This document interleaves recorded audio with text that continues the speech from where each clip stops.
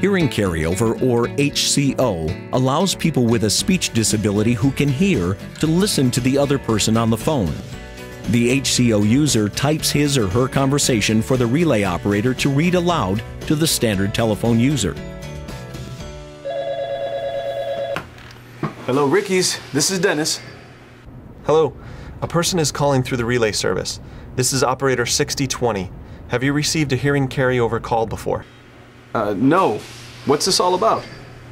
The person is using the relay service to communicate with you. The caller will type their conversation and I will read it to you. When you hear the words go ahead, it is your turn to speak and the caller will be able to hear you. Please speak directly to the caller and say go ahead when you are ready for a response. Thank you. One moment for your call to begin.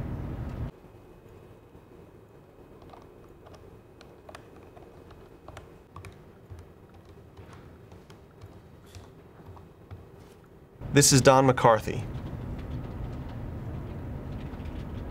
My van needs an oil change and a state inspection. I would like to schedule an appointment for sometime next week.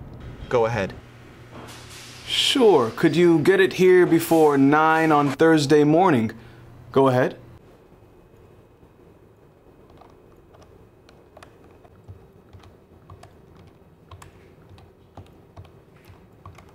Will it take a long time, or may I wait for it to be done?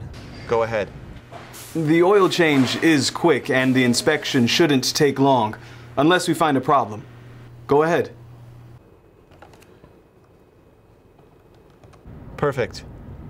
See you Thursday. Bye. 711 is the statewide telephone relay number that connects people who use standard telephones with people who use HCO. This relay service allows easier access for relay users, businesses, friends, and family of HCO users. The service is available for both English and Spanish language callers.